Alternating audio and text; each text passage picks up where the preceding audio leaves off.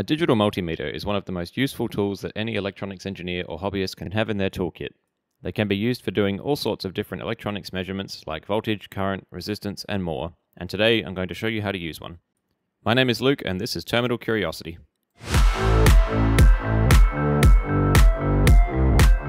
So I recently bought this new multimeter, bought it from EEV Blog to support their channel. By the way, check it out if you haven't already. Dave does some awesome stuff. And I figured I'd do a video on how multimeters work and how to use one for your projects. Feel free to skip ahead to different timestamps if you're looking for an explanation of a specific feature. So when we first take a look at the multimeter, we can see it's got a few different buttons and a dial with a few different modes. So going around the circle, we have voltage with automatic range and a low input impedance. Off, that one's self-explanatory. DC and AC voltage, resistance and continuity, millivolts and temperature, diodes and capacitors, amps and milliamps, and then microamps. There's also a non-contact electric field detector, and frequency for whatever voltage or current you're measuring. And if we take off the back door, we'll find the battery cradle, and also two fuses here. These are for the current measurements, and I'll explain that a bit later. When you get a multimeter, it should always come with a set of probes, obviously one red and one black, so that you can actually test things. And in this case, I also got a temperature thermocouple, which I can use to measure temperatures. I'll explain that a bit later. If we take a look at the probes, they have a right-angled banana connector on one end and the probe on the other.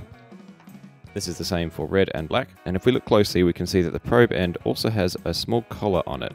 This effectively makes this a banana as well. So if you need to, you can actually plug it into the banana socket on the multimeter, for example. This is useful if you're trying to connect together two different things that have banana sockets. Maybe you want to measure the voltage output of a power supply using the multimeter. In this case, I can also unscrew this little banana collar and get just the pointy probe, which is useful for probing very small objects or small components on a board. Some other probes are a little bit different in that they might just pull directly off instead of unscrewing. You can also get some different types of multimeter probes. This is not part of the EEV blog kit, but it's something that I had already, and this comes with a few different types of connectors. One that I find particularly useful is this one, which has banana plugs on one end and tiny little mini grabber clips on the other. This is really good for measuring things in circuit or small wires or PCBs. There's also other types of connections, including larger alligators and small, tiny, sharp probes. First up, I'll show you how to measure voltage. In this case, I've already turned it to the voltage mode. Now we need to plug our probes in. When we're measuring voltage with these, we need to plug it into the voltage port and the common port.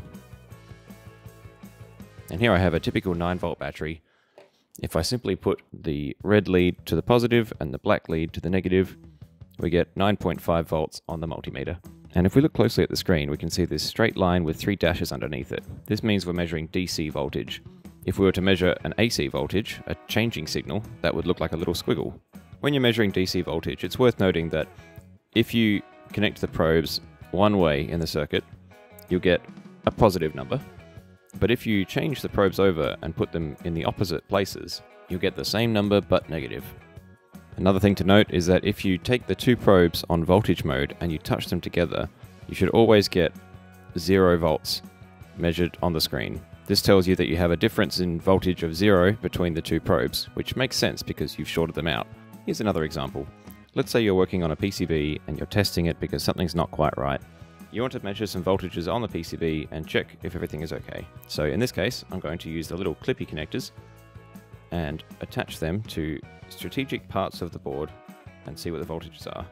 Apparently I forgot to include a ground test point on this PCB design, so I'm going to use the shield of the USB instead.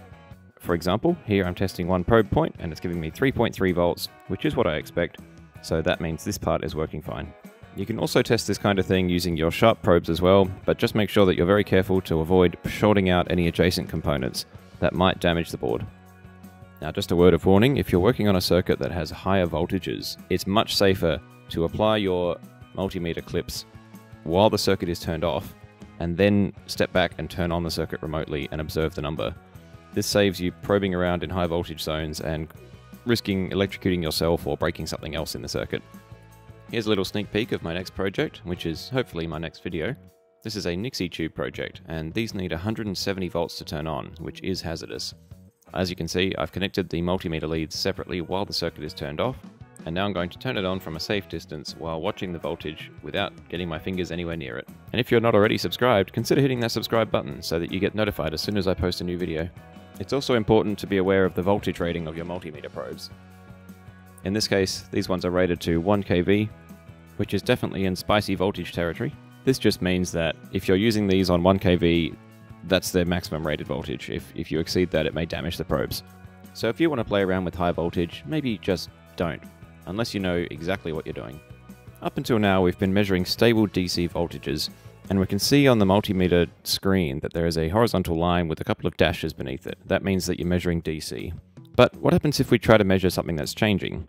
Here's my signal generator that I built in a previous video. If I measure the output like this, you can see the multimeter goes a bit crazy. It, it's not sure what to do here because this is a changing voltage and it expects it to be stable. So if I press the select button, this little symbol that shows that it's DC voltage changes to a squiggle and that shows us that we're now measuring a changing voltage. If I try again, it gives us about 4 volts. And that's exactly what we would expect from this device. Now let's look at measuring current in the circuit. This is different to voltage in that we need to use a different port. So firstly, we'll keep the common port the same, but now we put the red connector in either the amp port or the milliamp microamp port. Both of these will work for measuring current, but they're designed for different current values.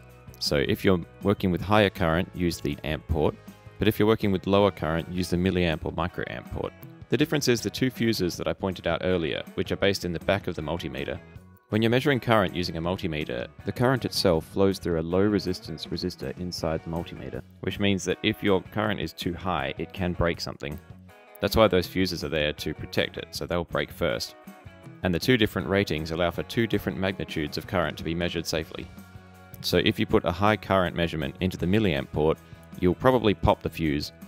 But if you put a low current into the amp port, that's okay, but you just won't get a very precise measurement. So I'm going to use the milliamp socket and then turn the dial until it reaches the milliamp range. Now we need to connect up the probes somehow. When you're performing a current measurement using a multimeter, you need to put the multimeter in series with the circuit you're measuring, not parallel like with voltages.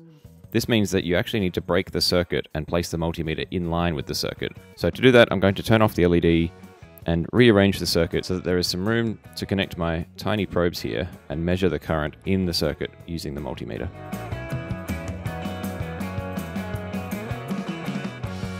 For this experiment, this is a bit clumsy because as you can see, the probes are quite long now and they're tipping over a bit. But that's okay, I'll just hold them up for now so that we can still do some measurements. And if I turn the power back on, it says that we're measuring 0.35 milliamps, which is quite small. We could actually measure this using the microamp range in this case. So if I turn that to the microamp dial, yep, now we see 351 microamps going through this LED circuit. When you're finished measuring current, it's always a good idea to remove the probes from the multimeter and maybe even put them back into the voltage ports. This is because when you're measuring current, it passes that current through the multimeter itself, through a very low resistance. And if you keep it in current mode and then apply a voltage, you might push way too much current through the multimeter and pop the fuse. Some multimeters are actually smart enough that they'll give you an alert if you change it into the wrong mode while you've still got it connected to the current probe ports, like this one. Makes an annoying beepy noise to let you know that you've made a mistake. And in fact, it won't even let you try to measure voltage while you've got it plugged into the current ports. That's a nice safe design. Now let's say we want to measure the resistance of something. We can change the dial to the resistor mode, and my multimeter defaults to this Wi-Fi looking symbol here, which is not actually Wi-Fi, but I'll explain that in just a moment. I'm going to press the select button, and then that switches it over to resistance mode. So if I touch these two probes together, we get 0.3 ohms, which is very low, and that's exactly what we'd expect. Now if I place the probes around these resistors in this circuit, I measure 6.8 kilo ohms, which sounds about right. Now if we press the select button and go back to this Wi-Fi looking mode, that's not actually Wi-Fi, unfortunately. In this case, it just means noise, and it's going to test the continuity of the circuit. So now if we tap together the two different probes, we'll get a continuous circuit and the multimeter will beep, and also the screen will flash apparently. This is really good for measuring things like short circuits between components that you wouldn't expect, or measuring the ends of cables to find out which pin goes to which other pin. It's also really good for checking that components are earthed properly, so you would test the continuity between one component and, for example, your ground plane or your chassis. Next, let's take a look at the temperature mode. So for this, we need to remove our probes and put them carefully somewhere else, like on the floor. And then we grab our temperature thermocouple. If you have a slightly cheaper multimeter, you might not have this feature. This is more of a special feature than a, a standard one. And a thermocouple, in this case, will basically measure the temperature of whatever's on the end of the wire. And this goes between common and the voltage port. We can see there's a, a temperature thermometer type indicator on the voltage port. So if I plug this in, it's going to complain because we've still got it in resistance mode. So if I change this to temperature mode, which happens to be the little thermometer, and then press select, so that we activate that, and plug it in, and we can let it stabilize, and it's about 23.5 degrees in this room right now. If I hold this with my hand, immediately it warms up, until it warms up with the temperature of my hand. Now you might be interested in tracking something like the longer term trends of values that you're measuring. And what we can actually do here is on this multimeter and many others, you have a record button. I'm going to press this and it lets me measure, for example, the maximum. So the maximum temperature it is measured now is 26, but if I hold onto it and it warms up, then I let go and it cools back down. It's not going to update this because it's showing me the maximum temperature that we made. You can cycle through these to measure maximum, minimum, and even average, depending on the kind of multimeter that you have. This feature works with all sorts of measurements, by the way. It, it, works with voltage, current, even resistance. It's not exclusively to temperature, so you can use that for all sorts of testing. Another feature that your multimeter might have is the ability to measure components like capacitors and diodes. Mine has this ability, and I'm going to show it. So we just turn the dial until we reach the component mode, and this has started up in diode mode. Here I have a basic generic 1N4001 diode, and I'm going to connect it to my multimeter. So this is telling me 0.5 volts, which is the forward bias voltage required to turn on this diode. This also works for LEDs because, well, believe it or not, they're diodes too. This actually turns on at 2.5 volts and starts powering the LED. Now what happens if I reverse this? And here you can see if we put the connectors on the wrong way around, nothing happens. It doesn't break the LED, it doesn't do anything. This is a good way to show whether you've got the diode connected the right way or not. Now let's try a capacitor. So we switched it to our components mode and we click select to go to capacitance. In this case it's automatically ranged in the nanofarad range, but it, because it's automatic we don't have to worry about changing that. Here I have an electrolytic capacitor and this is 100 microfarads. Now before we plug it into the multimeter we should always make sure that it's discharged first. If you have any residual charge left on your capacitor and you plug it in, you could get strange readings or possibly even damage the multimeter. In this case, this part just came out of my spare parts box, so it's pretty unlikely it's got any charge on it, but I'll just short it on this screwdriver anyway, just for good practice. If you're working with capacitors that may have high voltage on them still, then uh, don't use a screwdriver. Use a resistor or something to discharge it safely and slowly.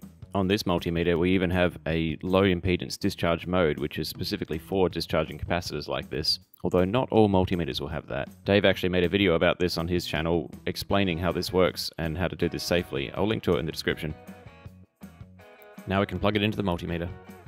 It takes a while to stabilize because it needs some time to actually charge up the capacitor and then read the value it's charged up to.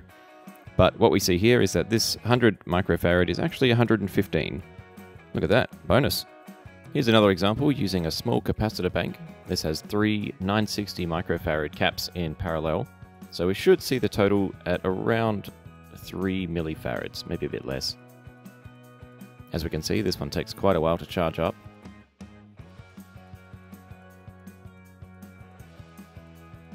And we get 2.5 millifarads total, so it's a bit less than the expected total, but these caps might just be a bit old. So there's a basic tutorial of all the simple things you can do with the standard digital multimeter like this one. Your device might be different, you might have more features or less features.